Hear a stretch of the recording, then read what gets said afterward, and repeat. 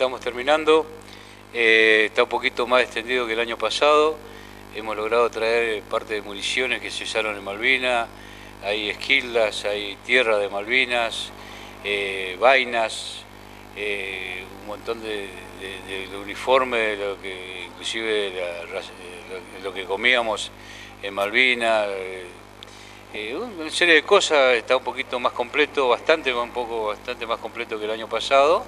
gracias al aporte que hace siempre el Ejército Argentino al museo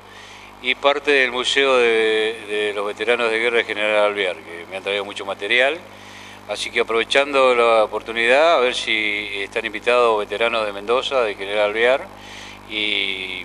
hay veteranos de Río Grande, de Punta Alta, así que nos hemos juntado de distintos lugares como para iniciar la Semana de Malvinas. Eh, al cumplirse los 35 años queremos darle un, toque distinto, algo que remover bien la memoria de cada argentino para que eh, sigan sabiendo, sigan entendiendo que Argentina tiene héroes, que hubieron 649 héroes que derramaron con su sangre, marcaron el territorio nuestro, entonces no los tenemos que olvidar. Ese es el gran compromiso que tenemos todos los veteranos de guerra. Malvinas son los 365 días del año. Y bueno, hemos eh, iniciado eh, mañana a partir de las 9 horas, eh, una, gran inauguración, va a haber con, esperamos las autoridades, están todas las autoridades invitadas, viene la banda de música que nos va a acompañar, el padre Ramón Sasso que nos va a bendecir el lugar y la, la Expo Malvina, así que y, la entrada es libre y gratuita, así que está todo el pueblo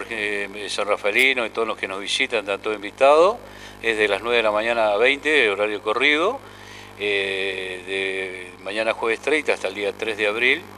Somos testigos de, lo que allá eh, sucedió en el 82 y, queremos recordar, eh, así como realmente se merecen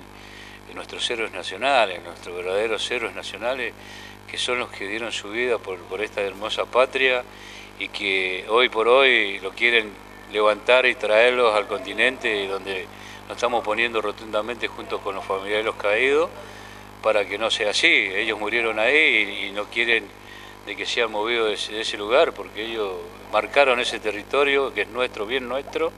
y vamos a seguir la lucha hasta las últimas consecuencias hasta que recuperemos de una vez por todas y la celeste y blanca vuelva a flamear en estas queridas Islas Malvinas.